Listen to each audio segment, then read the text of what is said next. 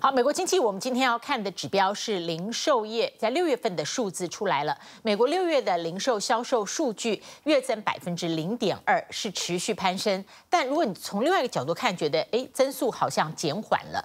其中呢，汽车销售在六月份呢降到百分之零点三，不过服饰这些网络销售继续往上冲，美国人还是敢花钱。那么现在呢，在美国外卖的业务非常好。夏威夷有一个外送员接受访问，他一个礼拜工作七天，但是每天的工作时间是十二到二十个小时。他在二零二二年年薪已经破十万美元。不过要拿到这样子自由弹性的工时，还有不错的年薪，必须适应高温热浪越来越严重。美国的零售大厂 Target 宣布，员工呢在这么热的天气里面可以穿短裤上班。中华电信董事长郭水义在纽约证交所敲响收盘钟，庆祝赴美挂牌二十周年。周二的美股也没漏气，在强劲银行财报提振下，三大指数全面收高。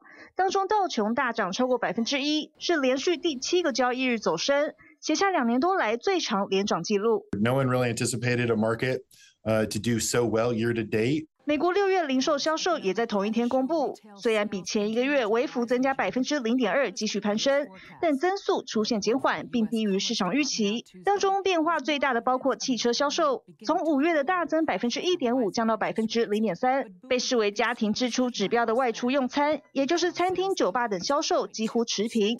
不过服饰品牌等网络销售额却继续向上冲。The hope is a soft landing that the Federal Reserve's job is close to being done. Maybe at the end of next week we have another rate hike, but we'll see how this plays out. 整体看来，在联准会启动四十年来最快的升息步调下，美国民众的消费力道依旧强韧。对各家零售商而言，除了要适应不断变化的消费模式，还得顺应外在环境来修改政策。The heat wave, like when you open like a oven.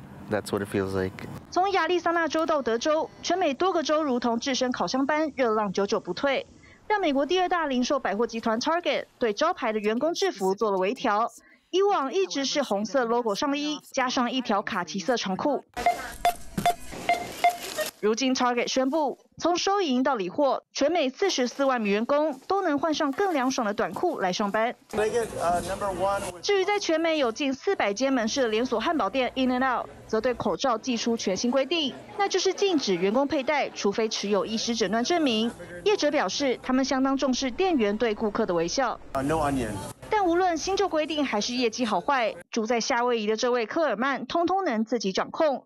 因为他是全美最大外送餐饮平台 DoorDash 的外送员。You can make a a lot of money. Um, you can make more than a hundred thousand.